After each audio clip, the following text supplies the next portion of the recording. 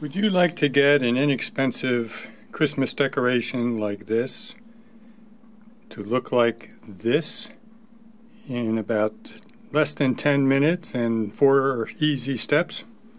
Of course you would. So stick with my video and I'll get you there. Hi, this is Bruce here again.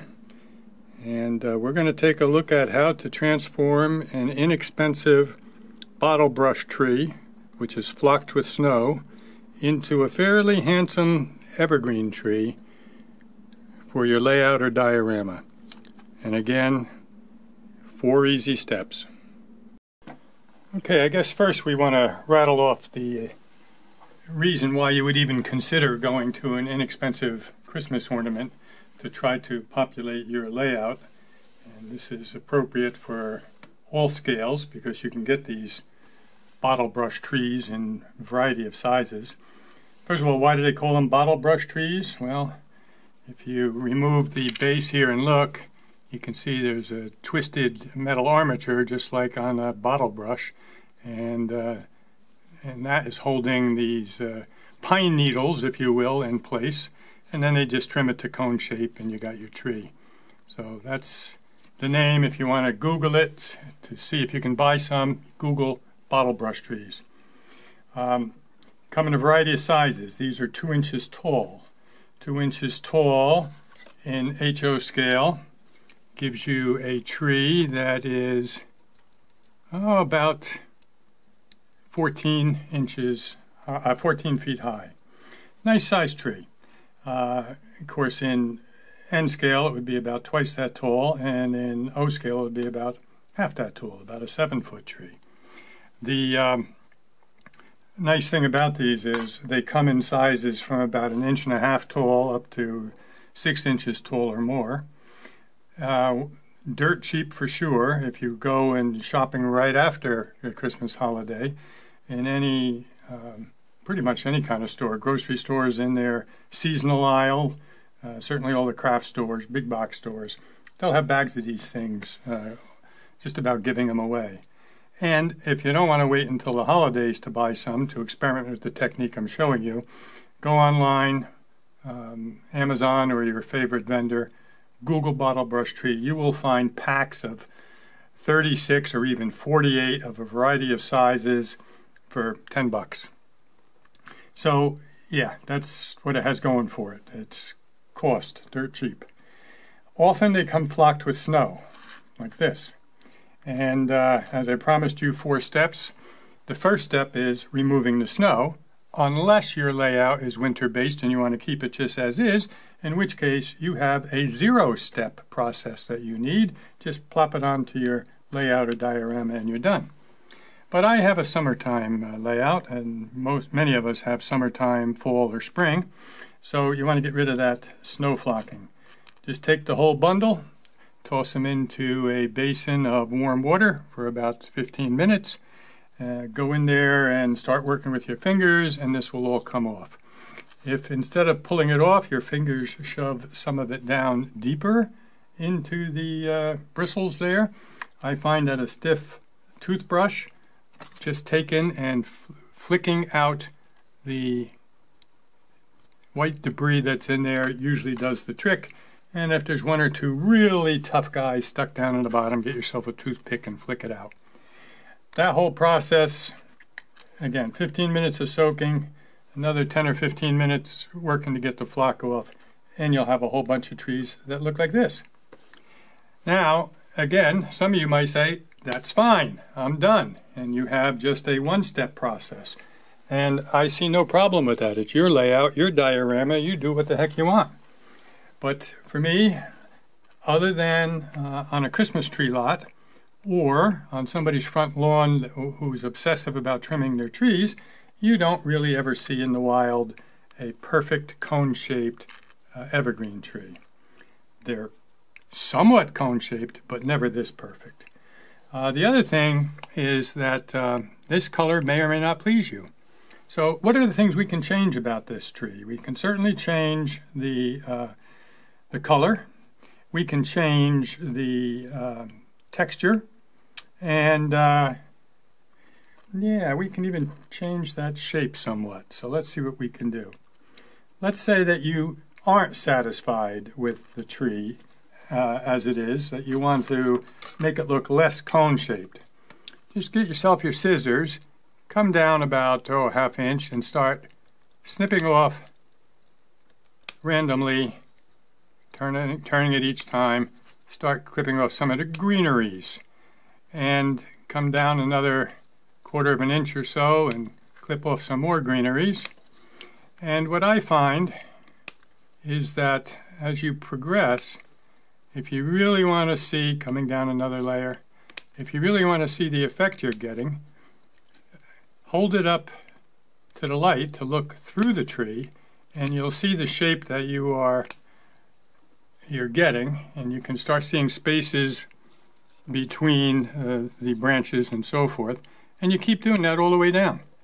It's not a perfect pattern. You don't want a perfect pattern. You want to create some spaces and interrupt the perfect cone shape that's there. So, you know, this process takes as long as you want to perseverate on it. But uh, for me, eh, it's usually three or four minutes of flipping. This is a kind of job, now that the weather's getting nicer. Go sit on the deck with a bunch of these and uh, do your snipping and holding it up to the light to look through it and get the shape you like. Get those all done and set it aside. So eh, some of you at that point would be done because you're happy with the color and now you've interrupted that perfect cone shape, and so you have yourself uh, a tree to plant on your layout or your diorama.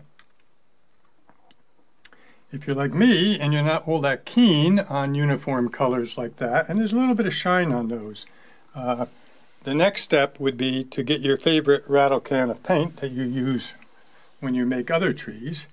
And for me now, I'm starting to zero in on this one as my choice. Make sure that you can see it. So it's uh, Rust-Oleum, and you can see it is a satin London Gray.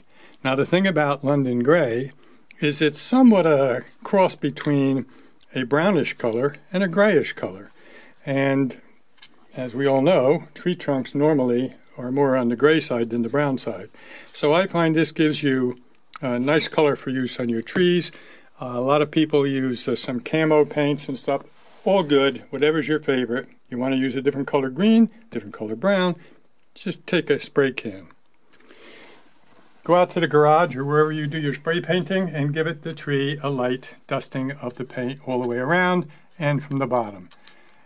In my case, I certainly don't want to make it look like a brown tree, but I do want to take the shine off.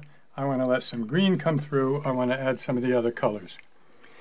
This tree, if you look at it, has been snipped and butchered to get the cone shape out of the picture here. So in other words, I did to that tree what I was showing you on this tree, only now you can see there's a difference in the colors. And uh, do what you want. You want to have three different kinds of tr uh, pine trees on your uh, layout. Um, spray this tree, leave some of them alone, spray some with one color, some with another color, you're good to go. Just giving this a barber trim makes a world of difference on the uh, comparison. Let me just zoom in on those a minute before we go any further and I'll show you the difference between them. All right, so pretty much a cone shape. And here, as you turn it around, you see you get various layers and so forth, a much more natural looking tree. Okay, so this tree is halfway through step two, which is giving it the haircut. This tree is really now the result of step two and three.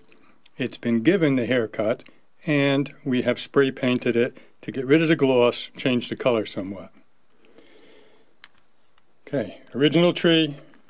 Step one, get rid of the flock. Step two and three, give it the haircut and give it a new color.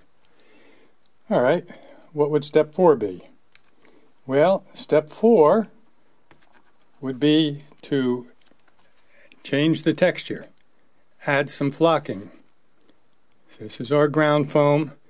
And what does it take? Two things, an adhesive and then some fine turf or ground foam.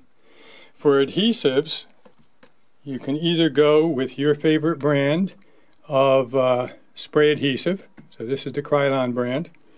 I also have 3M and used others as well. Or, just as often, I reach for dollar store hairspray. The cheaper, usually, the stickier it is.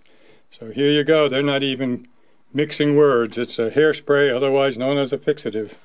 So you can just spray your tree, which is looking like this, all the way around with your favorite fixative, all right, your favorite adhesive, and then come in with your favorite fine ground foam. This is not an application for coarse.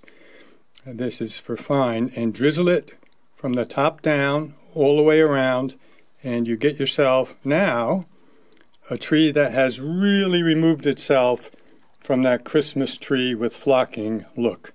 And again, as I said, four easy steps. When you do it in mass production like this, you're knocking these things out like crazy because you don't even have to, when you spray paint, you don't even have to wait for that paint to dry before you throw on the uh, fixative if you're in that much of a hurry. In terms of your choice of ground foams, I don't play favorites. Usually it's whatever's on sale. So here's a Scenic Express um, grass green fine. Okay, that's Scenic Express. Here's uh, JTT, JTT, which is one of the smaller brands, but readily available here in the States. And this is their blended turf fine green. Okay, and of course, Woodland Scenics uh, fine turf, green grass, another good choice. But you can go light green, dark green. A lot of them have medium greens, and you can get yourself a variety of looking uh, evergreens out there. Um, yeah, what are these things made out of? Normally, you know, probably three quarters of the time at least, they're made out of uh, sisal.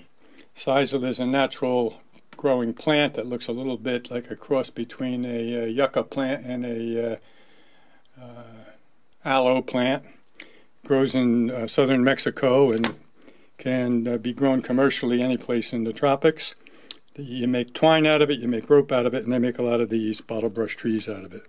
Uh, some of them are also made out of totally synthetic. This process works well with either one. So, yeah, you don't have to spend a lot of money to get some good looking uh, evergreen trees.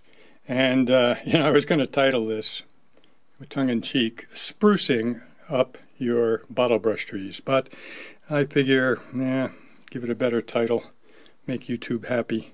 But the, uh, the process is a great one. Get a variety of sizes, variety of colors, textures, and you're good to go.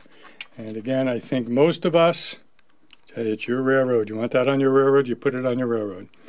But most of us can see the difference between the tree on the left, which is a Christmas decoration, and the evergreen tree on the right. Okay, that's it. Short and sweet. If you enjoyed the video, please give it a thumbs up. If you have not yet, please subscribe to my channel. And as always, I'll talk to you again soon.